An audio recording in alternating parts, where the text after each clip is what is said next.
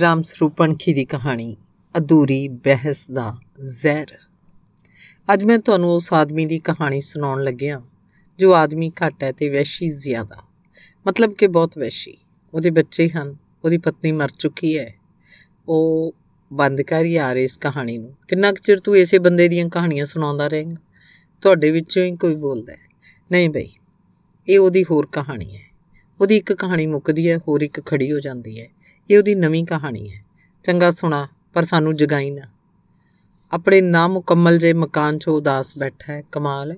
ਮਕਾਨ ਤਾਂ ਅਜੇ ਪੂਰਾ ਵੀ ਨਹੀਂ ਹੋਇਆ। ਗੋਲੇ ਕਬੂਤਰ ਪਹਿਲਾਂ ਆ ਬੈਠੇ, ਚਿੜੀਆਂ ਨੇ ਆਲਣੇ ਪਾ ਲਏ ਆਲਣੇ ਮੁਬਾਰਕ। ਜਿਨ੍ਹਾਂ ਦਿਨਾਂ 'ਚ ਉਹਦੀ ਪਤਨੀ ਮੰਜੇ ਤੇ ਪਈ ਆਪਣੇ ਆਖਰੀ ਸਾਹ ਗਿਣ ਰਹੀ ਸੀ, ਉਹਦਾ ਸੰਪਰਕ ਨਿਸ਼ਾ ਨਾਲ ਹੋ ਗਿਆ। ਨਿਸ਼ਾ ਉਹਦੀਆਂ ਦੁੱਖ ਭਰੀਆਂ ਗੱਲਾਂ ਸੁਣਦੀ ਤਾਂ ਹੌਕਾ ਲੈਂਦੀ। ਉਹਨੂੰ ਕਹਿਣ ਲੱਗਦੀ, ਤੂੰ ਉਦਾਸ ਨਾ ਰਿਹਾ ਕਰ। ਕੋਲ-ਕੋਲ ਬੈਠ ਕੇ ਉਹ ਢੇਰ ਸਾਰੀਆਂ ਗੱਲਾਂ ਕਰਦੇ। ਨਿੱਕੀਆਂ-ਨਿੱਕੀਆਂ ਗੱਲਾਂ, ਜਿਨ੍ਹਾਂ 'ਚੋਂ ਖੁਸ਼ੀ ਤੇ ਹਾਸੇ ਮਖੌਲ ਦੀਆਂ ਚਿਪਰਾਂ ਵੀ ਚੜ੍ਹਦੀਆਂ। ਉਹਨਾਂ ਦੀਆਂ ਅੱਖਾਂ ਇੱਕ ਦੂਜੇ ਨੂੰ ਲੱਭਦੀਆਂ ਰਹਿੰਦੀਆਂ। ਇੱਕ ਬਿੰਦ ਉਸ, ਉਹ ਕੋਲ-ਕੋਲ ਖਲੋ ਨਾ ਲੈਂਦੇ ਤਾਂ ਉਹਨਾਂ ਦੇ ਸਾਹ ਲੰਬੇ ਹੋਣ ਲੱਗਦੇ। ਇੱਕ ਦੂਜੇ ਦੀ ਪਛਾਣ ਉਹਨਾਂ ਲਈ ਮਿੱਠੀ ਮੁਹੱਬਤ ਦਾ ਰੂਪ ਧਾਰਨ ਕਰਦੀ ਜਾ ਰਹੀ ਸੀ। ਪਰ ਅਜੇ ਤੱਕ ਉਹਨਾਂ ਨੇ ਇਸ ਰਿਸ਼ਤੇ ਦਾ ਕੋਈ ਨਾਂ ਨਹੀਂ ਧਰਿਆ ਸੀ। ਤੇ ਫਿਰ ਇੱਕ ਦਿਨ ਉਹਨੇ ਨਿਸ਼ਾ ਦੇ ਨਾਂ ਇੱਕ ਲੰਮੀ ਸਾਰੀ ਚਿੱਠੀ ਲਿਖੀ। ਆਪਣੇ ਦਿਲ ਦਾ ਸਾਰਾ ਗੁਬਾਰ ਕੱਢਿਆ। ਨਿਸ਼ਾ ਤਾਂ ਅੱਗ ਭਬੂਕਾ ਹੋ ਉੱਠੀ। ਹੋਰ ਕੋਈ ਹੁੰਦਾ ਤਾਂ ਜੁੱਤੀਆਂ ਖਾ ਲੈਂਦਾ। ਦਿਨੇਸ਼, ਇਹ ਵੀ ਕੀ? ਕਿ ਤੂੰ ਮੇਰੇ ਹੋਠਾਂ ਤੱਕ ਜਾ ਪਹੁੰਚਿਆ। ਫਿਰ ਕਦੇ ਅਜਿਹੀ ਗੱਲ ਸੋਚੀ ਤਾਂ ਦਿਨੇਸ਼ ਢਿੱਲਾ ਹੋ ਕੇ ਰਹਿ ਗਿਆ। ਸੱਚੀ ਉਹਦੇ ਜੁੱਤੀਆਂ ਪੈ ਗਈਆਂ ਸੀ, ਪਰ ਅਗਲੇ ਦਿਨ ਨਿਸ਼ਾ ਉਹਨੂੰ ਪੁੱਛਣ ਲੱਗੀ, ਗੁੱਸੇ ਹੋ ਗਿਆ ਮੇਰੇ ਨਾਲ? ਨਹੀਂ। ਤਾਂ ਫਿਰ ਮੂੰਹ ਕਿਵੇਂ ਬਣਾਇਆ? ਨਹੀਂ, ਮੈਂ ਗੁੱਸੇ ਕਾਨੂੰ ਆ? ਆਪਾਂ ਤਾਂ ਦੋਸਤ ਬਣ ਕੇ ਰਹਿਣਾ ਦਿਨੇਸ਼ ਅਜੀਬ ਸਥਿਤੀ 'ਚ ਫਸ ਕੇ ਰਹਿ ਗਿਆ। ਉਹ ਮਹਿਸੂਸ ਕਰਦਾ ਨਾ ਤਾਂ ਉਹਦੀ ਹੱਤਕ ਹੋਈ ਹੈ, ਨਾ ਹੀ ਉਹਦੀ ਮਰਜ਼ੀ ਮੁਤਾਬਕ ਉਹਨੂੰ ਕੋਈ ਰਿਸਪਾਂਸ ਮਿਲਿਆ ਪਰ ਉਹ ਸੋਚਦਾ ਨਿਸ਼ਾ ਨੇ ਬਹੁਤ ਸਾਫ਼ ਸੁਥਰੇ ਢੰਗ ਨਾਲ ਉਹਨੂੰ ਝਾੜ ਕੇ ਰੱਖ ਦਿੱਤਾ ਹੈ। ਪਹਿਲਾਂ ਵਾਂਗ ਹੀ ਉਹ ਮਿਲਣ ਲੱਗੇ, ਪਹਿਲਾਂ ਵਾਂਗ ਹੀ ਉਹਨਾਂ ਦੀਆਂ ਗੱਲਾਂ ਦੇ ਦੌਰ ਚੱਲਦੇ। ਦਿਨੇਸ਼ ਇੱਕ ਦਿਨ ਉਹਨੂੰ ਇੱਕ ਕਿੱਸਿਆ ਪਟਿਆ, ਫਿਕਰਾ ਬੋਲ ਬੈਠਾ। ਨਿਸ਼ਾ, ਮੈਂ ਤੈਨੂੰ ਬਹੁਤ ਪਿਆਰ ਕਰਦਾ। ਉਹ ਹੱਸਣ ਲੱਗੀ ਫਿਰ ਗੰਭੀਰ ਹੋ ਕੇ ਪੁੱਛਿਆ, ਕਿੰਨਾ ਉਹਨਾਂ ਜਿੰਨਾ ਮੈਂ ਅੱਜ ਤੱਕ ਕਿਸੇ ਨੂੰ ਨਹੀਂ ਕੀਤਾ। ਤੂੰ ਪਹਿਲਾਂ ਵੀ ਕਿਸੇ ਨੂੰ ਪਿਆਰ ਕੀਤਾ? ਹਾਂ, ਕਿੰਨੀਆਂ ਕੁੜੀਆਂ ਨੂੰ, ਕਈਆਂ ਨੂੰ। ਤਾਂ ਫਿਰ ਅਜੇ ਤੱਕ ਤੇਰਾ ਦਿਲ ਨਹੀਂ ਭਰਿਆ? ਨਹੀਂ, ਦਿਲ ਦੀ ਗੱਲ ਨਹੀਂ। ਹੋਰ, ਤੈਨੂੰ ਪਤਾ ਹੀ ਹੈ, ਮੇਰੀ ਬੀਵੀ ਬਿਮਾਰ ਹੈ। ਹਾਂ, ਉਹ ਬਚਦੀ ਨਹੀਂ। ਹੂੰ ਉਸ ਤੋਂ ਬਾਅਦ ਮੇਰਾ ਸੰਸਾਰ ਖਾਲੀ ਹੋ ਜਾਊਗਾ। ਫੇਰ ਮੈਨੂੰ ਕਿਸੇ ਸਾਥ ਦੀ ਲੋੜ ਹੈ। ਕੋਈ ਔਰਤ ਮੇਰਾ ਸਹਾਰਾ ਬਣ ਜਾਏ। ਉਹ ਤਾਂ ਮੈਂ ਹੈਗੀ ਹਾਂ। ਤੂੰ ਨਹੀਂ ਹੋ ਸਕਦੀ। ਕਿਉਂ? ਤੂੰ ਤਾਂ ਮੇਰੀ ਦੋਸਤ ਹੋਈ। ਹੋਰ ਤੈਨੂੰ ਔਰਤ ਦੀ ਕਿਵੇਂ? ਦਿਨੇਸ਼ ਜੋ ਕਹਿਣਾ ਚਾਹੁੰਦਾ ਸੀ, ਕਹਿ ਨਹੀਂ ਸਕਿਆ। ਦੱਸਣ ਲੱਗਿਆ, ਮੈਨੂੰ ਘਰ ਚਾਹੀਦਾ ਉਹ ਛੱਡ ਯਾਰ। ਸਾਨੂੰ ਪਤਾ ਹੈ ਤੇਰਾ ਇਹ ਦਿਨੇਸ਼, ਤੇਰੀ ਉਸ ਨਿਸ਼ਾ ਤੋਂ ਕੀ ਚਾਹੁੰਦਾ ਤੁਹਾਡੇ ਚੋਂ ਇੱਕ ਬੜਵਾਈ ਬੋਲ ਉੱਠਿਆ। ਨਹੀਂ, ਬਸ, ਤੁਸੀਂ ਗੱਲ ਤਾਂ ਸੁਣੋ ਸਾਰੀ। ਉਹ ਚਾਹੁੰਦਾ ਹੈ, ਚੰਗਾ ਸੁਣਾਈ, ਚੱਲ ਕੱਲ ਉਹਨਾਂ ਦਿਨਾਂ 'ਚ ਉਹਦੀ ਪਤਨੀ ਪੂਰੀ ਹੋ ਗਈ। ਉਹਦਾ ਇੱਕ ਸੰਸਾਰ ਖਤਮ ਹੋ ਗਿਆ। ਜਿਹੜੀ ਸਮੱਸਿਆ ਉਹਦੇ ਲਈ ਪਤਨੀ ਬਿਮਾਰ ਹੋਣ ਵੇਲੇ ਸੀ, ਪਤਨੀ ਦੀ ਮੌਤ ਤੋਂ ਬਾਅਦ ਉਹ ਹੋਰ ਸਮੱਸਿਆ ਬਣ ਗਈ। ਪਹਿਲਾਂ ਸਿਰਫ ਔਰਤ ਅਹਿਮ ਸੀ, ਹੁਣ ਉਹਦੇ ਲਈ ਘਰ ਅਹਿਮ ਬਣ ਗਿਆ। ਅਸਲ 'ਚ ਹੁਣ ਉਹ ਅਜਿਹੀ ਕੋਈ ਔਰਤ ਚਾਹੁੰਦਾ ਸੀ, ਜਿਸ 'ਚ ਘਰ ਬਹੁਤਾ ਹੋਵੇ। ਦੂਜਾ ਵਿਆਹ ਕਰਵਾਉਣ ਲਈ ਉਹਨੇ ਆਪਣੀਆਂ ਸਰਗਰਮੀਆਂ ਤੇਜ਼ ਕਰ ਦਿੱਤੀਆਂ। ਉਹ ਰਿਸ਼ਤੇਦਾਰੀਆਂ 'ਚ ਬਹੁਤਾ ਜਾਣ ਲੱਗਿਆ। ਉਹ ਆਪਣੇ ਦੋਸਤਾਂ ਨੂੰ ਬੇਸ਼ੁਮਾਰ ਚਿੱਠੀਆਂ ਲਿਖਦਾ। ਉਹਦੇ ਦੋਸਤ ਉਹਦੇ ਦੁੱਖ ਦਾ ਪਤਾ ਲੈਣ ਆਉਂਦੇ ਤੇ ਆਪਣਾ ਫਰਜ਼ ਪੂਰਾ ਕਰਕੇ ਚਲੇ ਜਾਂਦੇ। ਉਹਦੀ ਮਾਨਸਿਕ ਹਾਲਤ ਥਾਂ ਦੀ ਥਾਂ ਖੜੀ ਰਹਿੰਦੀ। ਉਹਦੀ ਕੋਈ ਹਮਦਰਦ ਔਰਤ ਉਹਦੇ ਕੋਲ, ਉਹਦੀ ਪਤਨੀ ਦਾ ਅਫਸੋਸ ਕਰਨ ਲੱਗਦੀ ਤਾਂ ਉਹਦੇ ਵੱਲ ਉਪਰੀਆਂ ਅੱਖਾਂ ਨਾਲ ਦੇਖਦਾ। ਪਤਨੀ ਦਾ ਅਫਸੋਸ ਘੱਟ ਤੇ ਆਪਣੀ ਅਜੋਕੀ ਸਮੱਸਿਆ ਦਾ ਜ਼ਿਕਰ ਬਹੁਤਾ ਕਰਦਾ। ਤੇ ਵਿਆਹ ਵਾਸਤੇ ਉਹਦੇ ਲਈ ਕੁਝ ਥਾਵਾਂ ਤੋਂ ਪੇਸ਼ਕਸ਼ ਹੋਈ, ਪਰ ਉਹਦੇ ਦਿਮਾਗ 'ਚ ਨਿਸ਼ਾ ਬੈਠੀ ਸੀ। ਉਹ ਆਪਣੇ ਧੁਰ ਅੰਦਰ ਤੱਕ ਚਿਤਵਦਾ ਜੇ ਨਿਸ਼ਾ ਉਹਦੀ ਪਤਨੀ ਬਣ ਜਾਏ। ਤੇਰੇ ਇਸ ਦਿਨੇਸ਼ ਦੀ ਉਮਰ ਕਿੰਨੀ ਕੁ ਹੈ? ਕੋਈ ਪੁੱਛਦਾ ਹੈ। ਉਮਰ ਦਾ ਤਾਂ ਇਹ ਵੱਡਾ ਹੀ ਹੈ। ਫਿਰ ਵੀ ਕਿੰਨੀ ਉਮਰ? ਆਹੀ ਬਸ 42 43 ਸਾਲ। ਤੇ ਨਿਸ਼ਾ? ਨਿਸ਼ਾ ਤਾਂ ਜਵਾਨ ਹੈ। ਨਾ ਉਮਰ ਦੱਸ। ਉਮਰਾਂ ਦਾ ਜ਼ਿਕਰ ਨਹੀਂ ਕੀਤਾ ਮੈਂ ਇਹਦੇ 'ਚ। ਨਹੀਂ ਕੀਤਾ ਜ਼ਿਕਰ ਤਾਂ ਉਹ ਦੱਸ ਕਿੰਨੇ ਸਾਲ ਦੀ ਹੈ। ਤੁਸੀਂ ਯਾਰ ਉਮਰਾਂ ਦੇ ਝਗੜੇ 'ਚ ਕਿਉਂ ਪੈ ਗਏ? ਕਹਾਣੀ ਸੁਣੋ। ਪ੍ਰੀਤ ਲੇਖਕ ਪਤਾ ਕੀ ਆਖਦਾ ਹੈ? ਹੇ ਪ੍ਰੀਤ, ਤੂੰ ਇਹ ਸਭ ਜਜ਼ਬਾਤੀ ਲੋਕਾਂ ਦੀਆਂ ਗੱਲਾਂ ਨੇ। ਜ਼ਿੰਦਗੀ ਨਾਲ ਇਹਨਾਂ ਦਾ ਕੋਈ ਸਬੰਧ ਨਹੀਂ। ਜਜ਼ਬਾਤ ਜ਼ਿੰਦਗੀ ਨਹੀਂ ਹੁੰਦੇ। ਉਹ ਜਜ਼ਬਾਤ ਜਦ ਮੁੱਕ ਜਾਂਦੇ ਨੇ, ਜ਼ਿੰਦਗੀ ਦਾ ਫੇਰ ਹੀ ਭੇਤ ਖੁੱਲਦਾ ਹੈ। ਕਹਾਣੀਕਾਰ ਸਾਹਿਬ ਚੰਗਾ, ਅਸੀਂ ਚੱਲੇ। ਕਿੱਧਰ? ਬਸ ਸੌਣ ਲੱਗੇ ਆ ਤੇਰੀ ਇਸ ਕਹਾਣੀ 'ਚ ਕੋਈ ਨਵੀਂ ਗੱਲ ਨਹੀਂ। ਹਰ ਕਹਾਣੀ 'ਚ ਮੁੜ-ਮੁੜ ਇੱਕੋ ਗੱਲ ਨੂੰ ਦੁਹਰਾਈ ਜਾਂਦਾ ਓਏ ਨਹੀਂ, ਤੁਸੀਂ ਬੈਠੇ ਹੋ ਜਾਓ, ਵੀਰ ਬਣ ਕੇ। ਹੁਣ ਤਾਂ ਬਸ ਥੋੜੀ ਰਹਿੰਦੀ ਹੈ। ਚੰਗਾ ਛੇਤੀ ਛੇਤੀ ਮੁਕਾ ਇੱਕ ਦਿਨ ਉਹ ਨਿਸ਼ਾ ਨੂੰ ਪੁੱਛਣ ਲੱਗਿਆ, ਤੂੰ ਮੈਨੂੰ ਕਿੰਨਾ ਕੁ ਪਿਆਰ ਕਰਦੀ ਹੈ ਦਿਨੇਸ਼, ਤੈਨੂੰ ਕਿਵੇਂ ਸਮਝਾਵਾਂ ਕਿ ਮੈਂ ਤੈਨੂੰ ਬੇਹੱਦ ਪਿਆਰ ਕਰਦੀ ਹਾਂ ਤੈਨੂੰ ਵਿਸ਼ਵਾਸ ਕਿਉਂ ਨਹੀਂ ਆਉਂਦਾ? ਵਿਸ਼ਵਾਸ ਤਾਂ ਹੈ, ਪਰ ਆਪਣੇ ਇਸ ਪਿਆਰ ਦੀ ਮੰਜ਼ਿਲ ਤਾਂ ਦੱਸ ਕੀ ਹੈ? ਮੰਜ਼ਿਲ ਤੋਂ ਤੇਰਾ ਮਤਲਬ?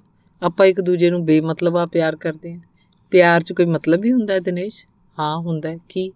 ਪਿਆਰ ਦੀ ਆਖਰੀ ਮੰਜ਼ਿਲ ਹੈ, ਇੱਕ ਦੂਜੇ 'ਚ ਅਪੇਧ ਹੋ ਜਾਣਾ। ਤੇਰਾ ਮਤਲਬ? ਆਪਾਂ ਵਿਆਹ ਕਰਵਾ ਲਈਏ। ਵਿਆਹ? ਨਿਸ਼ਾ ਉਹਦੇ ਚਿਹਰੇ ਵੱਲ ਦੇਖਣ ਲੱਗੀ। ਉਹਨੂੰ ਲੱਗਿਆ ਦਿਨੇਸ਼ ਦੀਆਂ ਪੁੜਪੁੜੀਆਂ ਦੇ ਵਾਲ ਜਿਵੇਂ ਪਹਿਲਾਂ ਨਾਲੋਂ ਵੱਧ ਚਿੱਟੇ ਹੋ ਗਏ ਹੋਣ। ਉਹਦੀਆਂ ਅੱਖਾਂ ਥੱਲੇ ਦਾਖੀ ਗੋਲ ਘੇਰੇ ਹੋਰ ਚਮਕਣ ਲੱਗੇ। ਉਹਦੇ ਨੱਕੋਂ ਗੱਲਾਂ ਦੇ ਹੇਠਾਂ ਉਤਲੇ ਬੁੱਲ ਦੇ ਕਿਨਾਰਿਆਂ ਨੂੰ ਛੋ ਕੇ ਉਤਰਦੀਆਂ ਦੋ ਲਕੀਰਾਂ ਹੋਰ ਡੂੰਘੀਆਂ ਦਿਸਣ ਲੱਗੀਆਂ। ਉਹਨੂੰ ਲੱਗਿਆ ਦਿਨੇਸ਼ ਨੇ ਉਹਨੂੰ ਕੋਈ ਅਣਹੋਣੀ ਗੱਲ ਕਹਿਤੀ ਹੈ। ਸੰਗੋਂ ਸੁੱਕੇ ਬੋਲ ਉਹਦੇ ਪੇਪੜੀ ਜੰਮੇ ਬੁੱਲਾਂ ਚੋਂ ਮਸਾਂ ਹੀ ਬਾਹਰ ਆਏ। ਵਿਆਹ ਤਾਂ ਮੇਰਾ ਕਿਸੇ ਹੋਰ ਨਾਲ ਹੀ ਹੋਊਗਾ। ਨਿਸ਼ਾ, ਤੂੰ ਮੈਨੂੰ ਸਮਝਦੀ ਕਿਉਂ ਨਹੀਂ? ਮੈਂ ਕਿੰਨਾ ਦੁਖੀ ਹਾਂ ਤੂੰ ਸਬਰ ਕਰ। ਸਬਰ ਹੁੰਦਾ ਨਹੀਂ, ਤਾਂ ਫਿਰ ਵਿਆਹ ਕਰਵਾ ਲੈ। ਕਿਹਦੇ ਨਾਲ ਵਿਆਹ ਕਰਵਾ ਲਾ? ਕਿਸੇ ਨਾਲ ਵੀ। ਕੋਈ ਲੱਭ ਲੈ ਆਪਣੇ ਵਰਗੀ, ਜਿਹੜੀ ਤੇਰੇ ਸਿਧਾਰਥ ਦੀ ਮਾਂ ਬਣ ਕੇ ਰਹੇ। ਉਹਨੂੰ ਲੱਗਿਆ ਨਿਸ਼ਾ ਉਹਨੂੰ ਮੱਤਾਂ ਦੇ ਰਹੀ ਹੈ। ਉਹਨੂੰ ਮੱਤਾਂ ਦੀ ਲੋੜ ਨਹੀਂ ਸੀ। ਉਹਨੂੰ ਨਿਸ਼ਾ ਚਾਹੀਦੀ ਸੀ। ਗੁੱਲੀ ਡੰਡਾ ਖੇਡਣ ਦੀ ਉਮਰ ਹੰਢਾ ਰਹੇ ਸਿਧਾਰਥ ਨੂੰ ਉਹ ਆਪਣੇ ਨਾਲ ਹੀ ਪਾ ਲੈਂਦਾ। ਉਹਨੂੰ ਪੋਲਾ ਪੋਲਾ ਆਪਣੀ ਹਿੱਕ ਨਾਲ ਘੁੱਟਣ ਲੱਗਦਾ। ਉਹਦੇ ਹੱਥਾਂ ਨੂੰ ਨਿਸ਼ਾ ਦੇ ਹੱਥ ਸਮਝ ਕੇ ਚੁੰਮਣ ਲੱਗਦਾ। ਉਹ ਬਾਜ਼ਾਰ ਜਾਂਦਾ, ਭੀੜ 'ਚੋਂ ਨਿਸ਼ਾ ਦਾ ਚਿਹਰਾ ਲੱਭਦਾ ਰਹਿੰਦਾ। ਹਰ ਜਵਾਨ ਔਰਤ ਉਹਨੂੰ ਨਿਸ਼ਾ ਲੱਗਦੀ। ਮਨ ਅੰਦਰ ਹੀ ਉਹ ਨਿਸ਼ਾ ਨਾਲ 100-100 ਗੱਲਾਂ ਕਰਦਾ। ਕਦੇ ਲੜਦਾ, ਕਦੇ ਰੁੱਸਦਾ, ਕਦੇ ਉਹਨੂੰ ਪਿਆਰ ਕਰਦਾ। ਉਹਦੀ ਸੋਚ ਭਟਕ-ਭਟਕ ਜਾਂਦੀ। ਉਹਦਾ ਸਰੀਰ ਘਟਣ ਲੱਗਿਆ, ਰੋਟੀ ਖਾਣ ਬੈਠਦਾ, ਬੁਰਕੀ ਉਹਦੇ ਮੂੰਹ 'ਚ ਫੁੱਲਣ ਲੱਗਦੀ। ਉਹ ਅੱਧੀ ਅੱਧੀ ਰਾਤ ਤੱਕ ਜਾਗਦਾ ਰਹਿੰਦਾ। ਪਾਗਲਾ ਵਾਂਗ ਉਹਦੀ ਨਜ਼ਰ ਕੰਧਾਂ ਨਾਲ ਟਕਰਾਉਂਦੀ। ਨਿਸ਼ਾ ਉਹਨੂੰ ਪਿਆਰ ਤਾਂ ਕਰਦੀ ਸੀ, ਪਰ ਵਿਆਹ ਵਰਗੇ ਸ਼ਬਦ ਨੂੰ ਸੁਣਨਾ ਵੀ ਨਹੀਂ ਚਾਹੁੰਦੀ ਸੀ। ਪਿਆਰ, ਵਿਆਹ, ਨਿਸ਼ਾ, ਦਿਨੇਸ਼, ਛੱਡ ਪਰੇ, ਕਿਉਂ ਬੋਰ ਕੀਤਾ? ਬੱਤੀ ਬੁਝਾ ਦੇ ਓਏ, ਨਹੀਂ, ਗੱਲ ਇੰਨੀ ਹੈ। ਤੇਰੀ ਇਹ ਨਿਸ਼ਾ, ਤੇਰੇ ਦਿਨੇਸ਼ ਨੂੰ ਜਿਹੜਾ ਪਿਆਰ ਕਰਦੀ ਹੈ ਨਾ ਉਹ ਪਿਆਰ ਕਰਦੀ ਹੈ ਨਾ, ਇਹ ਹਮਦਰਦੀ ਹੈ ਉਹਦੀ। ਪਿਆਰ ਵਿਆਰ ਕੁਛ ਨਹੀਂ, ਤੇਰਾ ਦਿਨੇਸ਼ ਸਮਝਦਾ ਹੈ, ਸਮਝਦਾ ਹੀ ਨਹੀਂ, ਕੁੜੀ ਦੀ ਹਮਦਰਦੀ ਨੂੰ ਉਲਟਾ ਲੈਂਦਾ ਤੂੰ ਯਾਰ ਕੁੜੀ ਦਾ ਵਿਆਹ ਕਰਵਾ ਦੇ, ਹੋਰ ਕਿਤੇ। ਉਹਦੇ ਹਾਣ ਦੇ ਮੁੰਡੇ ਨਾਲ, ਤੇਰਾ ਹੀ ਦਿਨੇਸ਼ ਆਪੇ ਚੁੱਪ ਕਰ ਜਾਊ ਤੁਹਾਡੇ ਵਿੱਚੋਂ ਹੀ ਕੋਈ ਸੁਝਾਅ ਦਿੰਦਾ ਨਹੀਂ, ਸਮੱਸਿਆ ਕੁੜੀ ਦੀ ਨਹੀਂ, ਦਿਨੇਸ਼ ਦੀ ਹੈ। ਦਿਨੇਸ਼ ਫਿਰ ਸਮਝੂਗਾ ਕਿਵੇਂ? ਇਹੀ ਤਾਂ ਉਹਦੀ ਕਹਾਣੀ ਹੈ। ਯਾਰ ਗੱਲ ਸੁਣ ਕਿ ਤੇਰਾ ਇਹ ਦਿਨੇਸ਼ ਨਾ ਤਾਂ ਘਰ ਚਾਹੁੰਦਾ ਨਾ ਪਿਆਰ ਨੂੰ ਸਮਝਦਾ ਜਿਹੜਾ ਕੁਝ ਇਹ ਮੰਗਦਾ ਉਹ ਤਾਂ ਕਿਤੋਂ ਵੀ ਲੈ ਲੈ ਬੰਨਿਆ ਬਈ ਨਿਸ਼ਾ ਹੀ? ਨਹੀਂ, ਇਹ ਵੀ ਨਹੀਂ। ਉਹ ਇੱਕ ਸ਼ਰੀਫ ਆਦਮੀ ਹੈ, ਇਹ ਗੱਲ ਉਹ ਨਹੀਂ ਕਰ ਸਕਦਾ।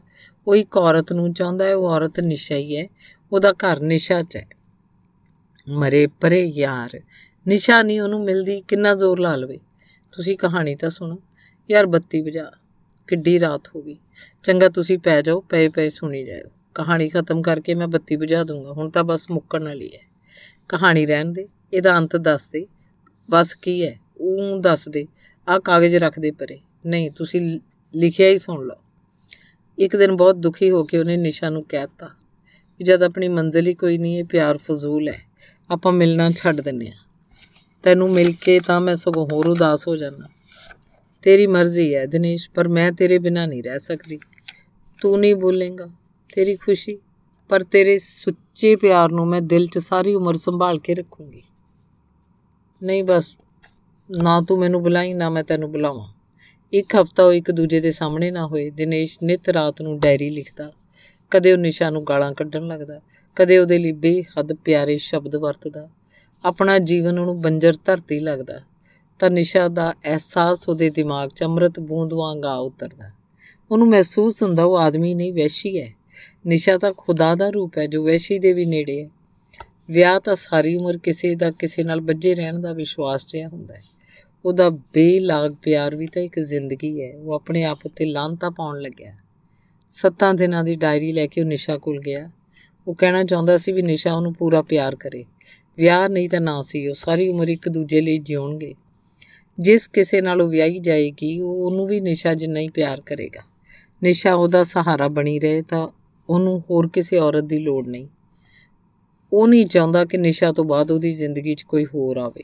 ਪਰ ਉਹਨੂੰ ਮਿਲਣ ਵੇਲੇ ਇਹ ਸਭ ਕੁਝ ਭੁੱਲ ਗਿਆ। ਉਹ ਇੰਨਾ ਹੀ ਕਹਿ ਸਕਿਆ, ਨਿਸ਼ਾ, ਮੈਨੂੰ ਤਾਂ ਸਰਿਆ ਨਹੀਂ। ਦੁਖੀ ਤਾਂ ਮੈਂ ਵੀ ਬਹੁਤ ਰਹੀ। ਤੈਨੂੰ ਇੱਕ ਖੁਸ਼ੀ ਦੀ ਗੱਲ ਸੁਣਾਵਾਂ? ਕੀ? ਦਿਨੇਸ਼ ਦਾ ਚਿਹਰਾ ਜਗਦੇ ਬੁੱਝਦੇ ਦੀਵੇ ਦੀ ਲਾਟ ਵਾਂਗ ਕੰਬਣ ਲੱਗਿਆ। ਮੰਮੀ ਨੇ ਮੇਰੇ ਲਈ ਮੁੰਡਾ ਲੱਭ ਲਿਆ। ਦਿਨੇਸ਼ ਦੀਆਂ ਅੱਖਾਂ ਅੱਗੇ ਹਨੇਰਾ ਸੀ ਉਹਦੀ ਥਿੜਕਦੀ ਆਵਾਜ਼ ਨੇ ਉਹਨੂੰ ਮੁਬਾਰਕ ਆਖੀ। ਉਹ ਤੁਰੰਤ ਹੀ ਪੁੱਛਣਾ ਚਾਹੁੰਦਾ ਸੀ, ਵਿਆਹ ਤੋਂ ਬਾਅਦ ਵੀ ਮਿਲਦੀ ਰਹੇਗੀ ਮੈਨੂੰ? ਪਰ ਉਹਨੂੰ ਲੱਗਿਆ ਜਿਵੇਂ ਉਹਦਾ ਇਹ ਸਵਾਲ ਬਹੁਤ ਘਟੀਆ ਬਣ ਕੇ ਰਹਿ ਜਾਏਗਾ। ਤੇ ਨਿਸ਼ਾ ਪਤਾ ਨਹੀਂ ਉਹਦਾ ਕੀ ਜਵਾਬ ਦੇਵੇ। ਬਸ, ਇਹ ਕੋਈ ਪੁੱਛਦਾ ਨਹੀਂ, ਚੰਗਾ ਬੁਝਾ ਦੇ ਬੱਤੀ। ਮੈਂ ਕੁਝ ਚਿਰ ਚੁੱਪ ਬੈਠਾ ਰਹਿਣਾ ਚਾਹੁੰਦਾ ਕਿ ਤੁਸੀਂ ਇਸ ਕਹਾਣੀ ਦੇ ਅੰਤਲੇ ਸ਼ਬਦ ਬਹੁਤ ਧਿਆਨ ਨਾਲ ਸੁਣ ਲਓ। ਪਰ ਇਹ ਕੀ, ਤੁਸੀਂ ਤਾਂ ਸਾਰਿਆਂ ਦੇ ਨੇ ਘੁਰਾੜੇ ਮਾਰਨੇ ਸ਼ੁਰੂ ਕਰਤੇ। ਕਹਾਣੀ ਦਾ ਅੰਤ ਮੈਂ ਆਪਣੇ ਮੂੰਹ 'ਚ ਹੀ ਪੜਦਾ ਜਿਵੇਂ ਆਪਣੇ ਆਪ ਨੂੰ ਸੁਣਾ ਰਿਹਾ ਹਾਂ। ਆਪਣੇ ਆਪ ਨੂੰ ਕੁਝ ਸੁਣਾ ਕੇ ਤੇ ਮੈਨੂੰ ਤਸੱਲੀ ਨਹੀਂ ਹੁੰਦੀ। ਬੈਠਾ ਹਾਂ, ਅਧੂਰੀ ਬਹਿਸ ਦਾ ਜ਼ਹਿਰ ਮੇਰੀਆਂ ਨਾੜਾਂ 'ਚ ਘੁਲਦਾ ਜਾ ਰਿਹਾ ਹੈ। ਧੰਨਵਾਦ।